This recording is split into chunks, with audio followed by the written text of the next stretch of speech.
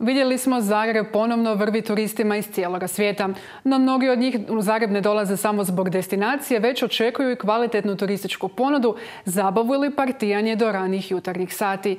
Zagreb je za razliku od nekada tako postao i destinacijom koja nudi razne glazbene festivale, brojne koncerte svjetskih zvijezdi, ali i partije te festivale elektronske glazbe. Jedan od njih svakako je naširoko poznati Future Scope koji već dulje od dva desetljeća u metropolu dovodi ono najbolje što svijet elektronske glazbe nudi. Ne stignemo nabrati, već ćemo samo reći da je pred nama još jedan Future Scope festival na Jarunu i to već u svibnju. Detalje će nam reći prvi čovjek cijele priče, Marijan Kiš. Gospodine Kiš, dobar dan, dobrodošli. Dobar dan, hvala što ste me zvali. Evo, obilježavate u svibnju 21. godišnjicu postojanja. Da, punoljetno su u nekim zemljama. U nekim. Zapravo sad ste po svim kriterijima svih zemalja. Skroz, da.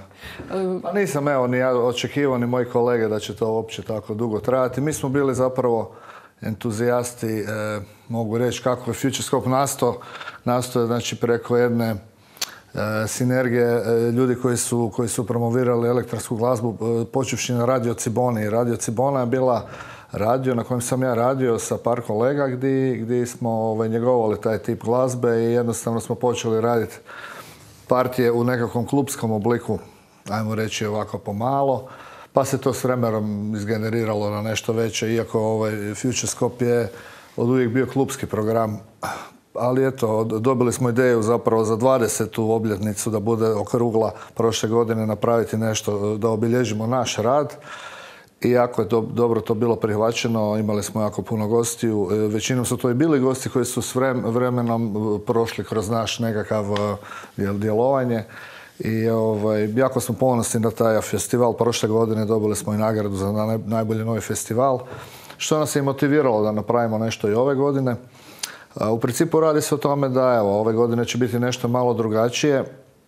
Radimo znači 12. i 13. peti na, na Velikom jezeru Jarun. Međutim, neće biti e, kao prošle godine nekoliko stageeva, bit će jedan ali vrijedan, jedan veliki stage na kojem će se znači e, petak, e, petak će glavni gosti biti Jeff Mills i, i Derek May, nekakvi začetnici po mišljenju mnogih začetnici tehna. Zapravo to je činjenica, nije to mišljenje, to je, to je nešto što stoji. Oni su doslovno znači, iz garaže u Detroitu započeli. Derek May je doslovno dao ime tehno, ajmo reći. Tako da nam je to isto čast. Petak ćemo imati jedan pravi old school tehno i uz domaće, uz domaće snage Petra Dundova i Kikija koji su isto svojevrsni rezidenti Futurescopa bili. I, ovaj, i, i u subotu nas očekuje Paul Kalkbrenner.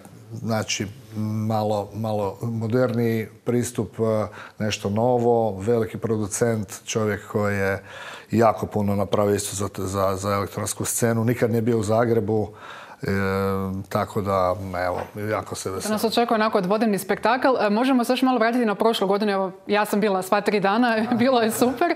E, moram priznati koliko je zapravo nakon te korone, koliko, koliko su bila zapravo vaša očekivanja? Bilo je dosta ljudi na Runu, svi su bili željni neke zabave napokon. A je, je. Mislim da smo mi čak možda prvi, ovaj, mislim da to bio prvi open air festival uopće iza korone i bilo nam je to jako u vrijeme kad smo mi to dogovarali, još su uvijek postojale mjere koje su se trebale znači, poštivati. Sve je bilo neizvjesno. Pa bilo neizvjesno do, da, do tamo negdje do prvog e, travnja, dok su se mjere tek ukinule, iako ovaj, Ma mislim, radili smo mi čak i za vrijeme korone se smjelo raditi do određenog, do 500 ljudi, do 1000, ovisi o momentu. Mi smo napravili dva ili tri eventa i poštivali smo sve mjere i, u principu nije svijet stao zbog toga i tako je bilo i vani, pa zašto ne i kod nas. I ovaj, ali je, bila je neizvjesnost uh, u smislu, ma mislim, uvijek je neizvjesnost kad radiš open air, pogotovo o vremenskim prilikama i tako dalje. Znamo kakva sudbina prati in music, s obzirom da se radi o istom mjestu. šta zna za tri tjedna šta će se desiti, ali to je ovo malo triki uh, period gdje, se može desiti kiša i, pljusak i svašta. Prošle godine smo imali i to baš u petak. Prvo večer, sve Prvo večer na sve vetu gdje je najviše ljudi zapravo je bilo, ali to je trajalo nekih 45 minuta i nakon toga, ako da ništa nije ni bilo, vrlo brzo se to sve, ovaj, ako ima volje ima i mi ćemo svakako potruditi u slučaju lošeg vremena da napravimo sve što je moguće i da se zaštite ljudi. Kabanice, kišobran Pa imamo u backupu nekakav šator, ali još ne, nemojmo to. Nećemo zazivati, vjerujemo da će biti sunce.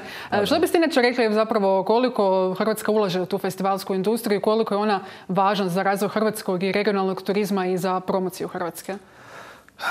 Pa sad je meni jako teško ovaj reći koliko Hrvatska ulaže. E, scena i, i ulaganje oko toga postoji i ono je vrlo po meni ovaj, u jednom pozitivnom, ajmo reći, e, afirmiranom dijelu.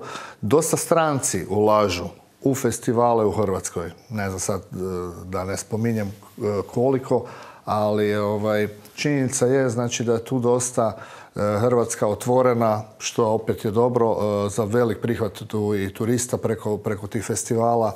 Postoji sigurno jedno desetak festivala, znači od Defekteda do Outlooka, ne znam, e, Sonusa, ima ih, ima ih puno, Hideout na Zrču, koji su doslovno, znači, ultra koji su u, u, suradnji, ajmo reći, hrvatski nekakvi promotori i, i e, strani i to je dobro, mislim, čak da ih ima možda u nekom momentu i previše.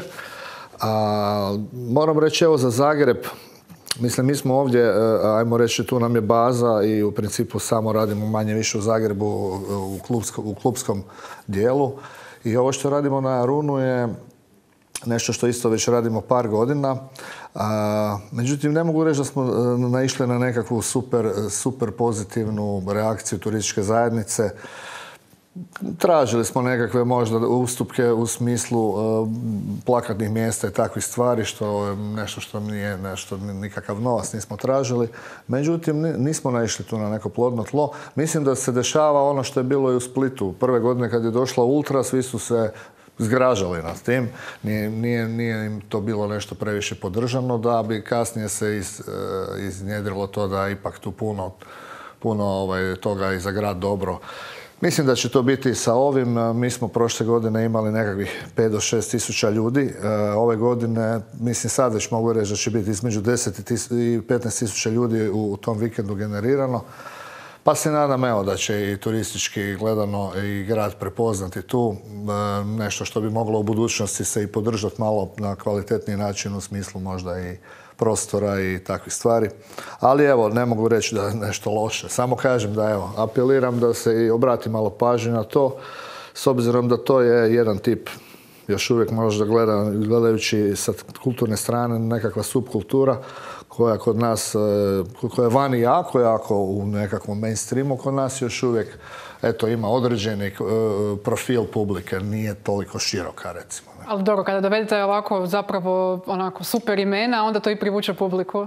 Pa mislim, za Paul Kalkbrennera se stvarno nadam i vidim da je stvarno veliki odaziv. Nikad nije bio u Zagrebu i njega je strašno teško dobiti. On je glavni aktor i Exita i mnogo festivala po svijetu. On je čovjek koji je odbio Ultru, recimo, ne, ne, ne spada niti u onaj komercijalni neki rang, a niti u onaj nekakav, ajmo reći sad, tehno koji je, koji je neki tvrdi ili šta ja znam.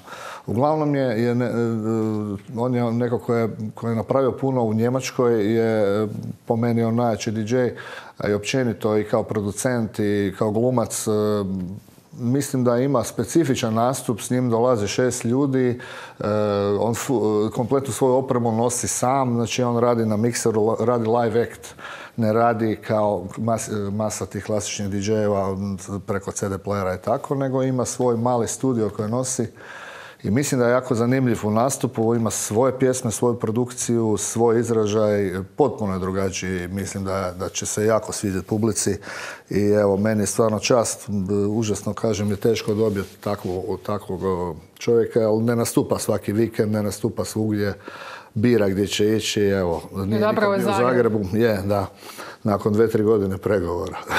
Kako dugo je to trajalo?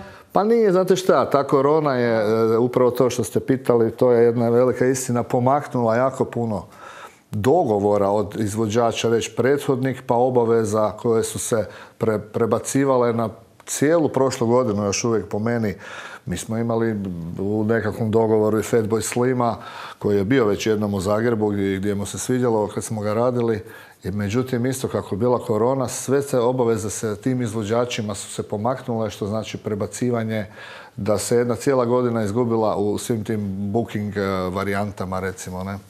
Tako da evo, uspjeli smo čekat, dočekati Kalkbrennera. Bio bi on i prije da nije bilo korone. Bitno da dođe. E, vi niste došli ovdje praznih ruku, to moramo napomenuti našim gledateljima. Evo, donijeli ste e, jednu majicu, dakle, netko od naših gledatelja tko želi majicu, ali možda i kartu za ovaj dvodnevni e, tehno spektakl, može se javiti na naš mail koji Evo, ovo je inače majica, da, koja nije u prodaji, koja je čisto promotivna. Eto, onda je to stvarno ekskluzivno. Stvarno, da, nećemo imati u prodaji, imat ćemo, ali bez ovog natpisa Kalkbrenner, se to zapravo onda ne, vrijedi, onda je ovo stvarno sad Imamo Future Scope, da, ovo je baš za osoblje. Uglavnom, ovo, evo, možemo i dvije karte i to ćemo staviti festivalske, znači dvodnevne karte, uh, slobodno nek se ljudi jave, evo. Može, mail je na ekranu. Uh, gospodine Kiš, hvala puno na gostovanju. Uh, želim vam pod broj jedan dobro vrijeme, da ne bude kiša. Hvala, I to naravno... mi je najdraže kad, kad poželite tako. I naravno drugo, sjajnu zabavu. Ovo drugo će biti ok. Da. Sjajna zabava će ovako biti, tako da vidimo se na Runu 12. i 13. svibnja. Može, hvala, pozdrav.